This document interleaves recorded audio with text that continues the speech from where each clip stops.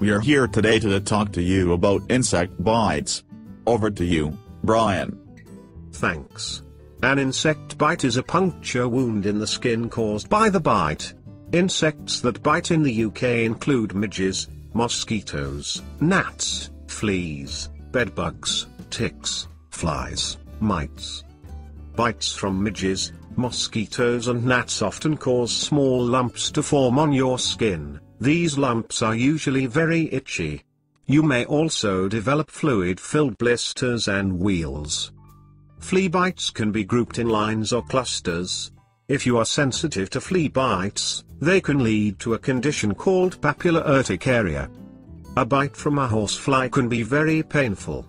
Symptoms include a formation of a wheal around the bite, hives, dizziness, giddiness, weakness, wheezing, itchy, pink or red swellings.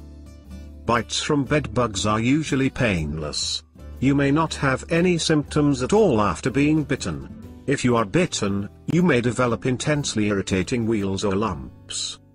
Blandford fly bites are common during May and June. They usually occur on the legs and are very painful. Symptoms include swelling, blistering, high temperature, joint pain.